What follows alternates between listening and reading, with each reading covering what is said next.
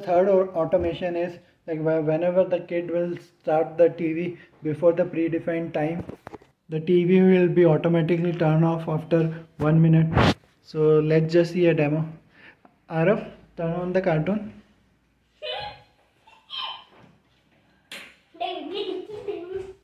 So as you can see the TV has turned on. It will take some time because of this uh, stabilizer.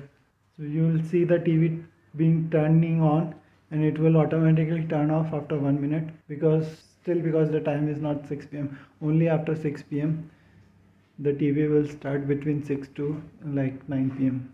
So you will see like within 30 seconds or something this TV will again turn off.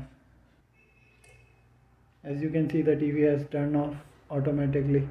So whenever you start the TV before the predefined time it will automatically shut it down the TV within one minute. I have deliberately given a one minute, delay to show the effect of the automation. Otherwise, you can immediately turn off the TV also.